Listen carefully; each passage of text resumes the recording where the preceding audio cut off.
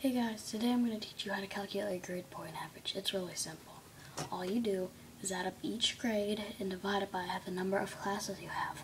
But to do that, you have to know what each grade is worth. For example, A is a 4, B is a 3, C is a 2, D is a 1, and F is a 0. Here are my grades. In math, I have a B, which is a 3. In reading, I have a B, which is another 3. Science, a B, 3. Social studies, a B, another 3 written expression A and a 4. So what I'm going to do is I'm going to add three fours. 3, hold on a second, I'm sorry. 3 plus 3 plus 3 plus 3 equals 12.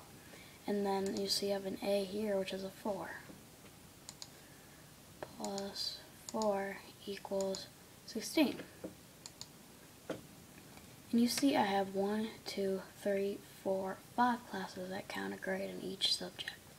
So I'm going to divide 16 by 5.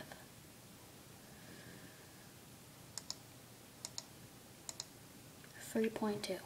There you have it. I have a 3.2. That's my grade point average. Well, guys, uh, that's how you calculate your grade point average. Thank you for watching, and write on my wall, write to me, if you have any questions about any grades or anything, I'm here. Bye.